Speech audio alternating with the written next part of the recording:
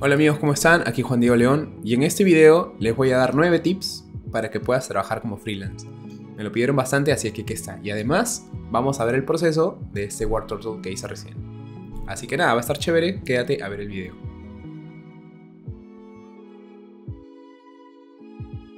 Y amigos, este video va a ser un poco diferente porque lo que vamos a hacer ahora es, yo les voy a ir hablando de diferentes cosas que yo utilizo, he hecho durante mis años de carrera en la industria. Las he organizado y he armado nueve tips que les va a servir un montón. Y a la par vamos a ir viendo este proceso. En el caso del proceso de, de War Turtle, voy a usar las mismas técnicas que estado usando en mis otros videos. El de luces, el de pelo incluso, porque esto tiene mucho de cómo yo hago el pelo, así que presten atención a eso también. El de luces y sombras, que ya les conté. Y estoy usando básicamente los mismos pinceles que siempre uso que te puedes descargar en el video de pinceles, es este de acá y este de acá. Son los pinceles que más uso y creo que en este de acá lo he usado el 95% de la ilustración ha, ha, sido hecho con estos pinceles. Para hacer volúmenes, para hacer sombritas, para hacer texturas, qué sé yo. Entonces nada, presten atención a eso y les voy a ir contando más o menos los tips que tengo para ustedes. Bueno, para empezar y como como para contarles, yo ya tengo muchos años en la industria en los cuales por mucho tiempo estuve también como freelance. En ese tiempo yo tenía que aprender a organizarme, a hacer muchas cositas para que todo vaya bien, para que todo funcione como una máquina y siga avanzando y siga avanzando todo de forma correcta. Entonces, lo que hice ahora fue sacar todas esas ideas, anotarlas, juntarlas, mezclarlas y hacer nueve, separarlas en nueve grupos, que son los tips que les voy a dar ahora. Tip número uno, sé buena onda. Siempre es educado, en correos, en todo. ¿Qué pasa? De que siempre que te mandan un correo, siempre trata de responderlo de la mejor forma posible. Lo que yo hago siempre es ser súper chévere con la gente. Hola, ¿cómo estás? Espero que tengas un buen día, bla, bla, bla. Por ejemplo, si me escriben, hola Juan Diego, queremos hacer tal proyecto, y tú tienes que decir que sí o tienes que decir que no, siempre trata de buscar una, la, mejor, la mejor forma de hacerlo, la forma más amable. Es como yo lo hago. Eso acá es algo súper personal. Pero, por ejemplo, siempre digo como que, hola, gracias por la oportunidad, gracias por escribirme. Si yo le voy a decir que no a la persona, le digo, le pondría algo tipo, en esta oportunidad no voy a poder trabajar contigo porque estoy trabajando tal proyecto, no me va a dar el tiempo. Sin embargo, te puedo recomendar tal artista o te puedo recomendar a tal persona que es muy bueno y que de repente te pueda ayudar en tu proyecto. ¿Esto por qué lo hago? Porque además de que le estoy diciendo que no a esta persona, también le estoy dando una solución recomendándole a un artista que yo considero que podría dar la talla para el proyecto que está haciendo. Eso va a hacer que la otra persona no solamente, eh, pucha, no se sienta mal de que no, no va a trabajar contigo, sino también le des una solución y pueda escribirle a esta persona. Entonces, estás ayudándolo de una forma muy amena y eso está súper bien. Otra cosa es que también en, este, en esta industria es mucho de contactos, es mucho de habilidades blandas, de cómo te relacionas con la gente. Eh, hay mucha gente que confía mucho en tu trabajo porque a veces te tienen que pagar antes o te tienen que pagar la mitad antes de que tú mandes tu trabajo. Entonces, como es tanto de confianza, es bueno de que tú te muestres como una persona confiable, una persona amable, una persona buena. Hay gente que desaparece, no te desaparezcas, amigo no te desaparezcas, contesta siempre los correos, siempre sé amable y educado, porque es súper importante. Aunque no creas, es súper importante en esta industria. Así que nada, tip número uno, sé siempre educado, amable y todo lo demás. Tip número dos, conoce el precio de tu trabajo. Organízate un presupuesto. Eh, yo lo que hago para organizar mi presupuesto y conocer el precio de mi trabajo es lo siguiente. Yo tengo, yo sé cuánto gasto mensualmente contando mi alquiler, contando mi comida, contando las visas que salgo, las cosas que necesito comprar, etc, etc, etc. Además, también debería saber cuánto es un dinero que yo quiero ahorrar y siempre tener eh, poco a poco ahorrando más dinero. Además, también si yo tengo mis licencias que pagar de mis programas, por ejemplo Photoshop, yo pago mi licencia, o otro tipo de licencias que necesite pagar, también lo agrego a mi presupuesto. Entonces, yo siempre ya en mi monto mensual, yo ya sé más o menos cuánto eh, gasto. Imaginemos que este monto es de 3.000 soles o 3.000 dólares, para que sea un poco más fácil la división. Eso quiere decir que si yo divido 3.000 dólares entre 30, sería 100 dólares. Entonces si yo divido 3.000 dólares entre 30, sería 100 dólares diarios. Esos 100 dólares diarios es si considero sábados y domingos. Obviamente vamos a hacer el juego de que, bueno, no estamos considerándolo, es como de lunes a viernes. Esos 100 dólares tú lo puedes dividir entre las 8 horas de trabajo que trabajarías. Imaginemos, tenemos 12.5 dólares por hora.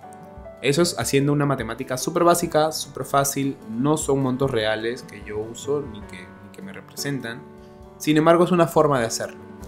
En este caso, tú ya podrías conocer cuánto es un monto por hora que tú puedes percibir. Ahora, obviamente uno gasta más que eso. Y si tú quieres ahorrar y quieres tener mejores equipos o, aspirar un poco más, puedes subirlo un poco más. Y si tú conoces que tu trabajo vale, ¿por qué no? Otra cosa que yo hago es también saber si es que la persona... Para... Hay tres cositas más que yo considero. Uno, para quién es el trabajo. Si imagínate que mi amigo me pide que le haga una ilustración para él y para su novia, una cosa así y si a la vez Coca-Cola me llama y quieren que les ayude en ilustraciones para un branding de su marca. Obviamente a Coca-Cola le vamos a cobrar más, porque Coca-Cola es una empresa, bla, bla, bla, y mi amigo es mi amigo, que obviamente le voy a cobrar un poco menos. Obviamente las ilustraciones no van a ser las mismas, pero ahí captamos la idea, ¿no? Si tenemos una empresa más grande o una empresa que nosotros sabemos que puede, pero que puede pagar mucho más o maneja presupuestos más grandes para publicidad y para ese tipo de cosas, puedes tirar un presupuesto un poco más alto y es muy posible que te lo acepten. O por último tienes esta chance de negociar. Eso está bueno que lo sepas. Otra cosa que yo tengo en cuenta es para cuándo es el proyecto. Si el proyecto lo quieren para mañana, mañana mismo, porque se les pasó y necesitan urgente para mañana, esto te va a costar mucho más caro que si tú me dices el proyecto lo necesito para dos semanas o tres semanas o un mes. Entonces eso también yo lo tengo en cuenta, dependiendo del tiempo para cuando lo quieren porque si es más pronto, yo voy a tener que sacrificar otras cosas, voy a tener que sacrificar de repente mis momentos de ocio, mis momentos de relajación para hacer ese proyecto. Y me está afectando. Entonces yo cobraría más por eso. Eso es algo muy personal, pero yo te lo recomiendo, te lo dejo ahí para que tú también lo veas y lo puedas analizar.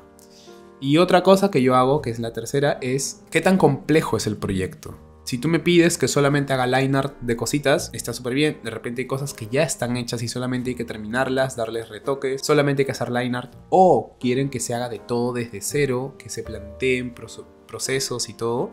Es muy distinto.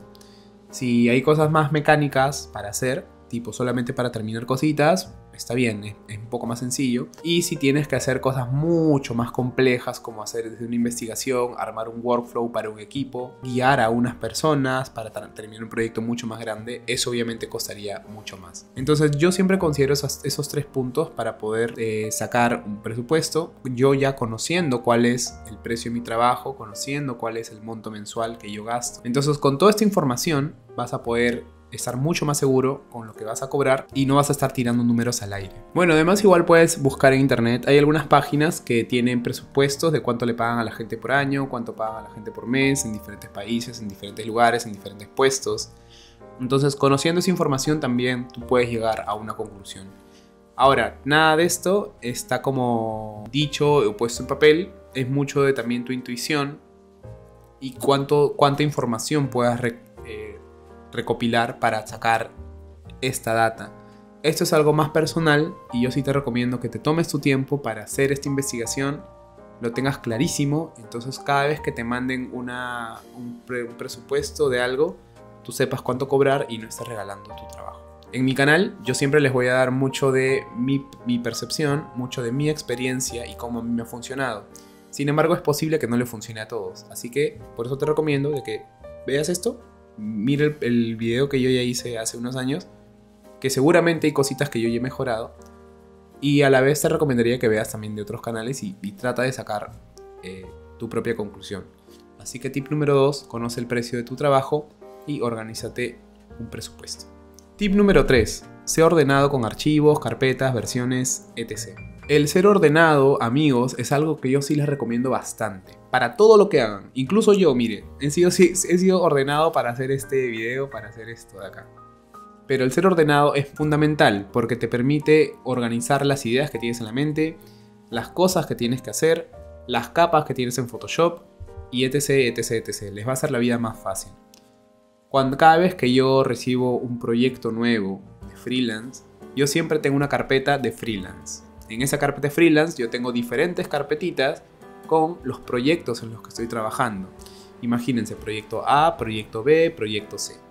En el proyecto A, yo cuando entro tengo diferentes carpetas con referencias que voy a usar, cuáles son los archivos que voy a tener, los archivos que ellos me han mandado, o sea, si es que te mandan a veces ellos sus propias referencias, o te mandan un PowerPoint, o te mandan un Word con imágenes, o te mandan muchas imágenes, o incluso si yo es que me armo un PureRef con las referencias que ellos me están mandando, todo lo tengo ahí en referencias. También tengo una carpeta donde yo pongo los contratos. Si es que ellos me mandan un contrato, un NDA, yo lo firmo y lo descargo y lo guardo ahí. Siempre tenerlo por si acaso. Además, está una carpeta donde yo tengo mis invoices, donde, o sea, si es que me piden, tienes que mandar un invoice para que te paguen. Perfecto, yo ya en la carpeta de invoice tengo mi plantilla de invoice donde simplemente la lleno y se la envío. Entonces todo lo tengo ordenado. Es mucho más fácil, es mucho más sencillo de hacer. Si es que tienes una plantilla de invoice, también mejor que puedas hacerla. Eh, yo tengo una que me la armé viendo en internet cómo funcionaba, con la información que necesitaba la armé más bonita y ya esa es mi, plantilla que yo ya uso siempre. Y además porque siempre que regresas a una de esas carpetas en algún momento, puedes encontrar toda la información. Si es que, por ejemplo, tú quieres sacar tus cuentas del mes, en esa carpeta de invoices vas a encontrar los invoices que hiciste con la fecha que hiciste y todo lo demás. Si quieres armar tu portafolio, puedes entrar a cada carpeta de tus freelance, encontrar las que ya están publicadas o las que ya se pueden mostrar y agarrar los procesos, agarrar las versiones finales, armarlo en tu portafolio, qué sé yo. Entonces todas estas cositas te sirven para que más adelante cuando tú quieras regresar a ese tipo de cosas, a esta información, la tienes a la mano, mucho más fácil. Y luego si es que tú puedes hacer un backup en un disco duro, también está bueno, que tengas en un disco duro tu backup de todos los freelance que has estado haciendo a lo largo de los años y tú también incluso tengas años para organizarlo de una mejor forma. Y nada, eso siempre está bueno. A veces cuando vas a trabajar para un nuevo trabajo de freelance y te dices, y bueno, ¿y qué has hecho?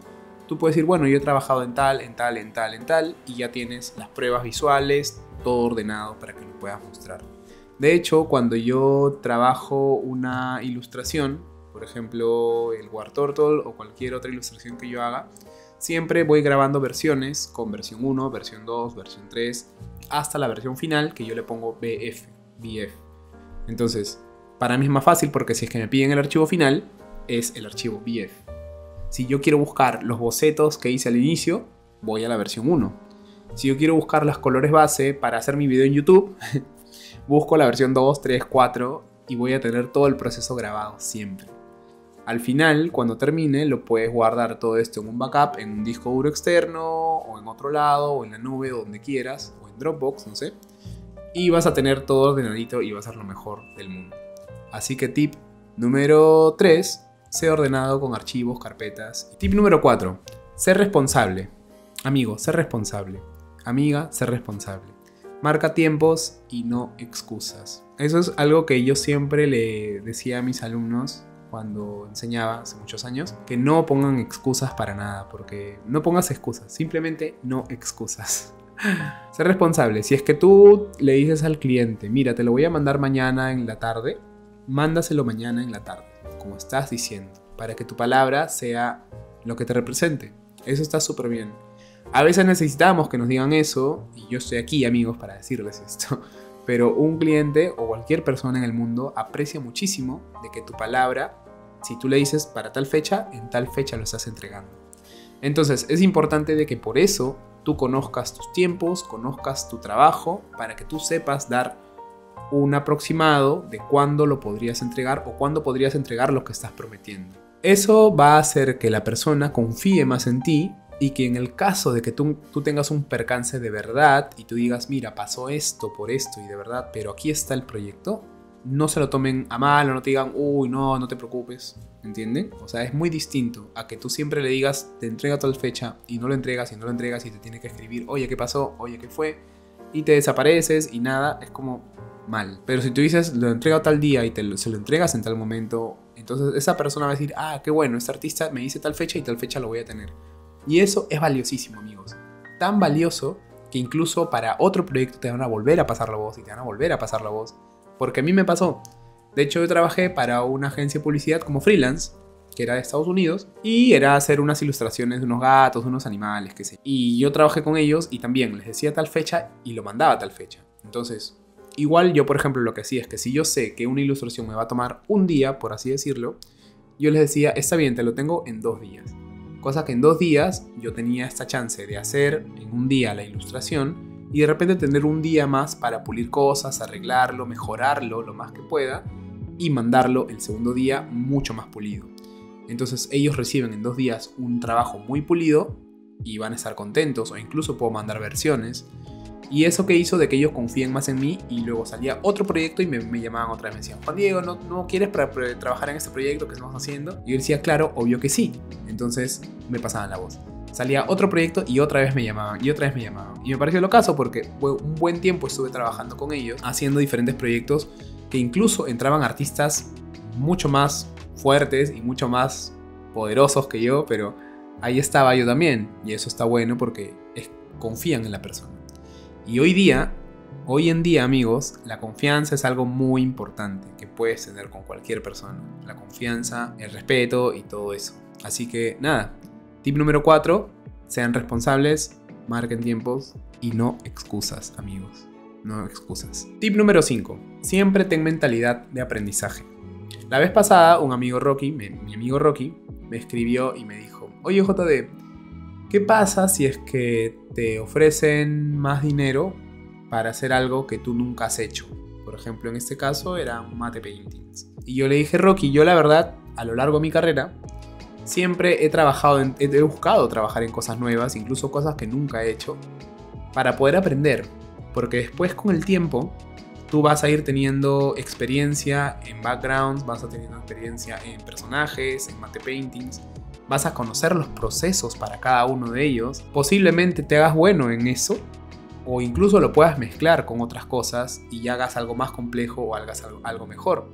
Si yo me quedo solamente haciendo personajes toda mi vida, nunca voy a hacer escenarios, nunca voy a conocer lo bacán o lo chévere que es hacer un mate painting o hacer una composición o hacer otras cosas. Entonces, si es algo que nunca has hecho, yo te diría que trata de tener mentalidad de aprendizaje, acepta el proyecto aprende todo lo que puedas, gana la experiencia que necesites, porque más adelante te va a servir de todas maneras. Incluso si tienes que acomodarte un estilo nuevo, hazlo, porque al final siempre hay referencias, siempre hay moodboards. Trata de estudiar esas referencias. Si te dicen, mire, hay que hacer algo como este cómic, estudia qué tipo de líneas usa, qué tipo de pinceles usa, cómo son los colores que usa, son colores pastel, son colores más contrastados, hay mucha valoración de sombras, Todas esas cositas tú las puedes ir estudiando, chequeándola y tratando de imitarla o tratando, bueno, obviamente referenciándote para este nuevo proyecto. Esto te va a hacer que tu portafolio también sea más variado, que tú tengas más experiencia, más bagaje de cosas que hacer y de acuerdo a cada proyecto nuevo que salga, tú puedes decir, ah, yo me acuerdo que hice uno parecido a esto, que es como esto, esto, esto, y yo creo que lo podríamos llevar de repente por este lado o usarlo también como referencia para esto nuevo. O podríamos mezclarlo, por ejemplo, los personajes que sean como el estilo de este cómic que trabajé hace un tiempo y los escenarios podrían ser como el estilo de tal otra cosa. Entonces eso es muy rico en animación, es muy bueno en animación o en videojuegos o en cualquier proyecto audiovisual que sea porque siempre se buscan nuevos estilos para producir imágenes. Entonces si tú tienes más información en la cabeza, aprendes más, estudias más, te va a ser algo mucho más valioso también como artista. Así que Tip número 5, siempre ten mentalidad de aprendizaje. Tip número 6, cierra los proyectos lo más rápido que puedas. Algo que yo hago también es, si es que yo, por ejemplo, tengo un proyecto de freelance y lo quiero acabar en ese mes, yo voy a tratar de hacerlo en ese mes máximo. ¿Por qué? Porque si yo me paso del mes, ya ese proyecto no me conviene. ¿Por qué? Porque ya estaría agarrando un proyecto que yo he cobrado pensando de que lo voy a acabar en ese mes, considerando mis montos mensuales pero si lo acabo en dos meses, voy a estar cobrando la mitad, básicamente. Porque ese dinero lo voy a tener que dividir entre mes 1 y mes 2. Entonces, tengan en cuenta eso. Si tienes que acabar algo rápido, trata de ser lo más preciso posible para llegar al tiempo posible. Eh, y si hay cambios y si hay retrasos que salen de tu, de tu control, bueno, no, no hay nada que podemos hacer. Pero por tu parte, si necesitas cerrar algo rápido, ciérralo al toque y sigue avanzando. Es algo que yo les recomiendo un montón. Además, para que si tú cierras un proyecto más rápido, obviamente haciéndolo bien, no haciendo cualquier mamarracho, haciéndolo bien, es posible que tú puedas agarrar otros proyectos o puedas usar ese tiempo también para descansar o para estudiar otras cosas o aprender otras cosas o revisar otros videos que te puedan servir para más cositas, como este de acá, por ejemplo. Así que nada, tip número 6, cierra los proyectos lo más rápido que puedas. Tip número 7, organiza tu día incluyendo frilos y descansos Como les dije al inicio, siempre sean ordenados, en mi caso, eh, siempre trato de organizar mi día también. Por ejemplo, hay muchas formas y muchas plataformas digitales que pueden usar para organizar sus días. Yo en mi caso soy más tradicional, yo uso un cuaderno, de hecho este es mi cuaderno. Yo acá anoto las cosas que voy a hacer durante el día, las, las tareas que tengo que hacer y siempre las tengo ahí y siempre las anoto y siempre las voy tachando. Entonces, ¿para qué sirve eso? Para que durante el día yo diga, tengo que acabar este line art, tengo que acabar este, esta cosa de acá, tengo que hacerme el desayuno, tengo que ir a cocinar, tengo que hacer, salir a recoger tal cosa, tengo que ir a escalar, por ejemplo. Entonces, yo en el día tengo cosas que hacer para mi trabajo, tengo cosas que hacer para freelance, tengo cosas que hacer en mi casa, tengo cosas que hacer para mis momentos de ocio y para descansar. Entonces, no todo es trabajo, no todo es estar sentado en la computadora siempre tienen que considerar las cosas de su vida y su día a día, amigos. Es importante, es importante esto también. Organiza tu día correctamente y si vas acabando algo, lo vas tachando y lo vas tachando y lo vas tachando. Y no saben la satisfacción que es cuando empiezas a tachar, a tachar, a tachar y terminaste el día y tachaste todo. Y avanzaste todo. Avanzaste tu freelance, avanzaste tus cosas en la casa, avanzaste tu, las, los proyectos, otros proyectos que tienes y que querías avanzar. Y eso está bueno porque de a poquitos estás avanzando y dando pasos. Es muy importante esto de ser organizado.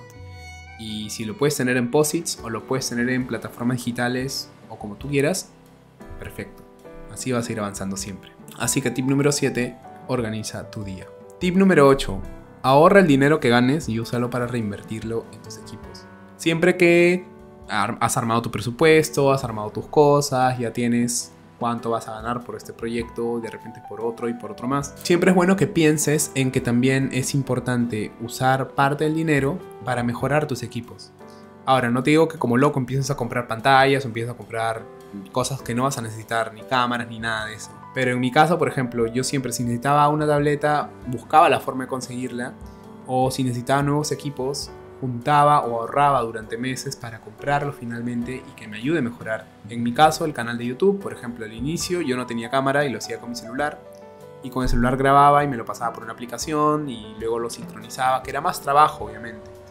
Luego pude comprar una mejor cámara, luego pude comprar un mejor micrófono, luego pude comprar otras cositas, pero que mejorar mi, equipo incluso de la compu.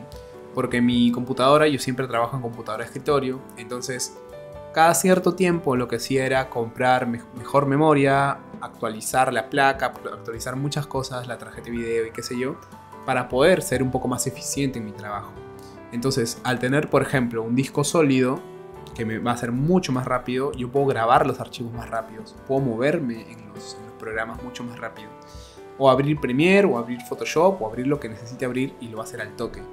Y esos segundos que vas ganando hacen que tu trabajo sea más óptimo, sea más eficiente.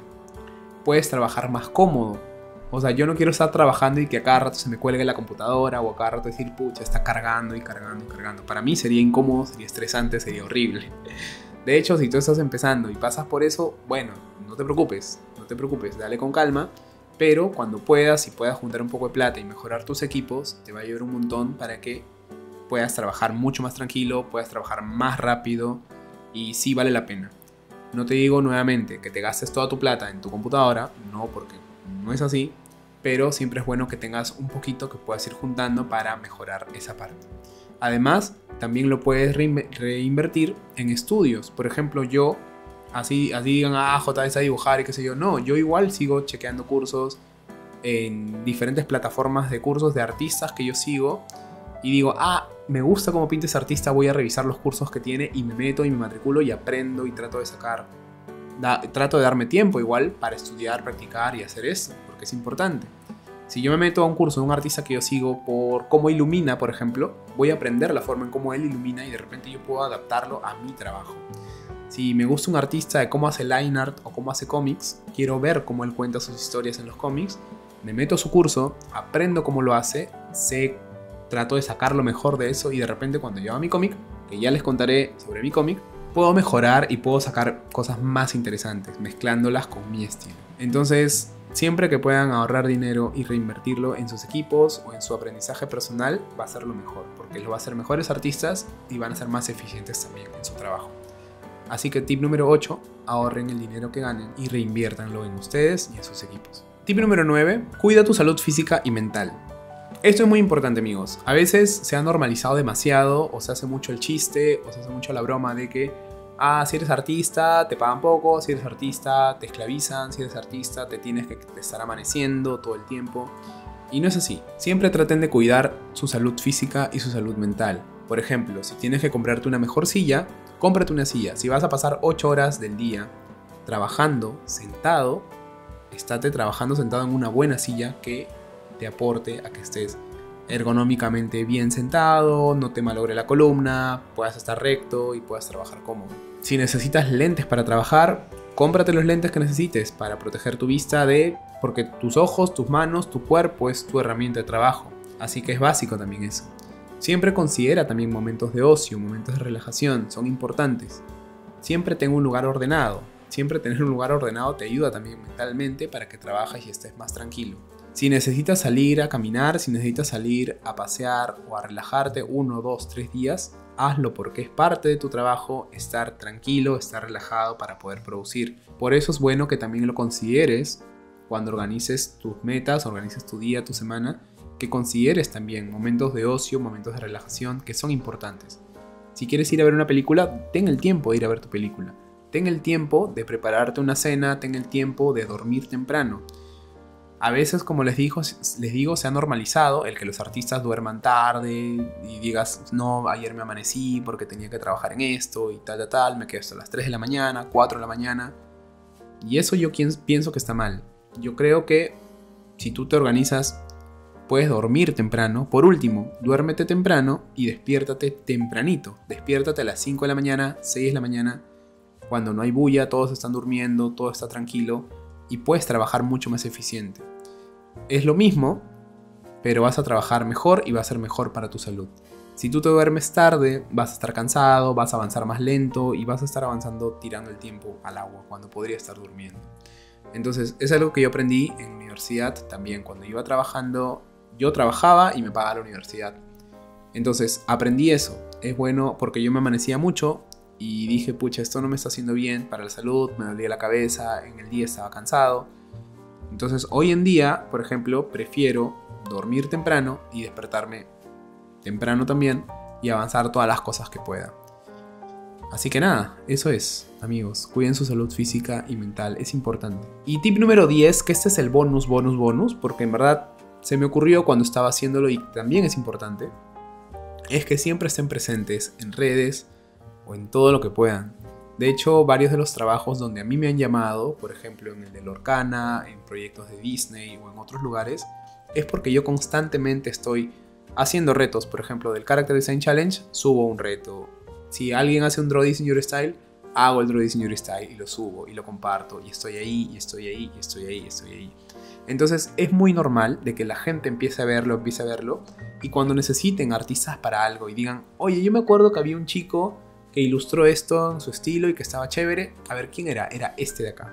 Y lo encuentran, y te encuentran. Y de hecho, a mí me han encontrado por ArtStation, me han encontrado por Instagram, me han encontrado hasta por Facebook y me han dicho, oye, he visto tu trabajo en tal plataforma y queríamos hacer un juego, así que me gusta tu estilo y me gustaría que puedas trabajar con nosotros. Y yo digo, say no more, vamos con todo. Entonces es bueno que hagan eso también, que estén presentes, que tengas un tiempo también para poder hacer tus proyectos personales que tú quieras, que es importante también, que tú puedas tener ese tiempo de investigar, de hacer las cosas que a ti te gustan, porque no todo es trabajo, también tengan tiempo para divertirse, tengan tiempo de mostrar a la gente el talento que tienen o las cosas que pueden hacer, porque al final eso va a hacer de que la gente se interese en sus proyectos y les interesen en las cosas que hacen y los quieran contratar o simplemente quieran hablar con ustedes de esas cosas. Y eso está súper bien. Así que igual, como décimo tip, siempre estén presentes en redes. Es importante, tengan tiempo para eso, para que eh, también la gente pueda constantemente ver su trabajo. Como verán, yo siempre sigo, sigo subiendo en Instagram sin excusas, amigos. sigo subiendo en YouTube. Tengo que, tengo que hacer el video y estamos haciendo el video. Tengo que hacer mi ilustración de War Turtle porque es parte de lo que yo ya estoy haciendo y va a estar ahí. Entonces, es bueno que también tengan tiempo para eso. Igual yo le doy tiempo a mi familia, le doy tiempo a las cosas que yo tengo que hacer en mi día a día, porque yo soy una persona que tengo que hacer miles de cosas en mi casa. Pero igual tenemos tiempo para estas cositas. Así que nada, organícense bastante y siempre se presentes en redes y en todo esto que puedan en internet. Así que nada amigos, miren, este ha sido el resultado del War Turtle. Espero que les hayan gustado estos tips. De hecho, eh, yo creo que son muy importantes que lo escuchen también de repente mi parte. Esto, como les digo, es mucho, muy personal. Eh, sin embargo, yo pienso que si a mí me ha funcionado, quizá alguno de estos tips, si te puede servir a ti, perfecto. Si lo puedes agregar a tu forma de trabajo, a cómo quieres crecer como persona y como artista, perfecto. Así que nada, bueno, este es el proceso de War Turtle. Espero que hayan visto además también cómo he usado diferentes pinceles, bueno, los pinceles que uso en las cosas, en los volúmenes, en las texturas y todo lo demás y anoten lo de los tips porque les va a servir un montón. Si te ha gustado este video, no te olvides de dejarme un like, de dejarme un comentario de qué te gustaría ver después para hacer un video sobre eso. De hecho, el de cómo trabajar como freelance me habían escrito también algunas personas que querían saber cuál era mi opinión al respecto, así que aquí está. Y además porque tu like y tu comentario y tu suscribida me ayuda un montón para, para seguir subiendo más videos, para seguir con este proyecto de seguir contando mis experiencias o mostrarles mis procesos o dejarles tutoriales de cosas. Me ayuda un montón para eso, amigos. No saben la cantidad de, eh, de recomendaciones que ha tenido el canal hasta ahora y eso está muy bien. Y yo quiero que siga así para poder seguir haciendo más videos así. Bueno, si te gusta cómo pinto y cómo hago mis ilustraciones, te cuento que en mi espacio en Gumroad van a poder encontrar diferentes tutoriales que yo he hecho de cómo pintar planta, cómo pintar personajes, hay procesos completos.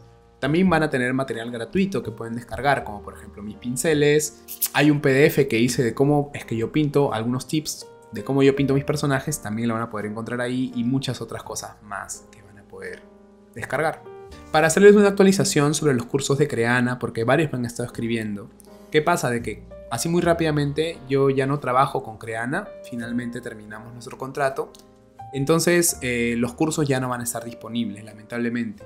Sin embargo, no se preocupen porque yo voy a ver la forma de volver a regrabar los cursos, de repente con más contenido, mejores, y voy a volver a subirlos. Y ya yo les contaré en qué momento, cuándo los subiré, porque igual es bastante trabajo que hacer. Cuando lo tenga, yo les estaré avisando por acá, o por mis redes, por Instagram, o por donde puedan. Entonces nada, eh, espero que te guste este video, tengo un bonito día, yo soy Juan Diego León y ya nos vemos en un siguiente video chicos. Chao.